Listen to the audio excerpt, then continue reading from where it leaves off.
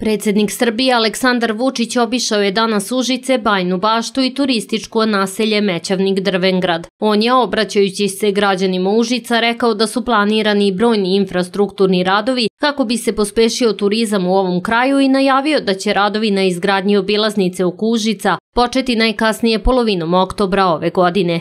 Donali smo, kao što znate, odluku da izradimo obilaznicu u Kužicu u dužini od 5 km, 4,85 km I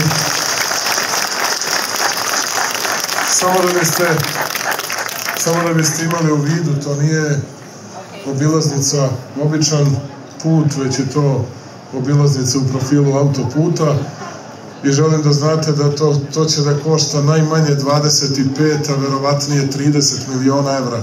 Samo da vidite kolika su ulaganja u taj deo.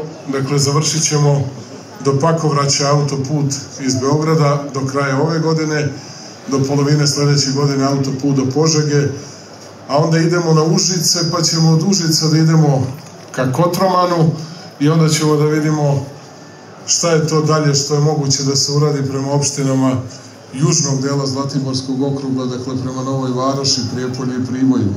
Radimo, kao što znate, danas put prema Pribojskoj banje, dakle sve ono što nam je bio najlošiji deo, kako na putu za Crnu Goru, tako i na putu ka jugozapadu Srbije.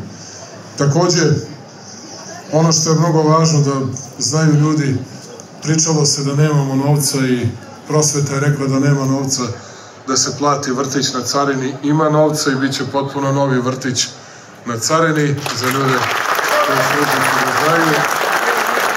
Ali ono što je za vas važno, što želim i u Bajnoj bašti da kažem, ja mislim da o tome pričamo jednako dugo koliko i u autoputu za zapadnu Srbiju, a to je ovaj put prema Kadinjači i Bajnoj bašti. Radit ćemo tunel ispod Kadinjače, spojit ćemo Dug i Dubce, tih 6 km dodatno, ali da imate u vidu koliko su to velike radovi, koliko su to velike tektonske promene.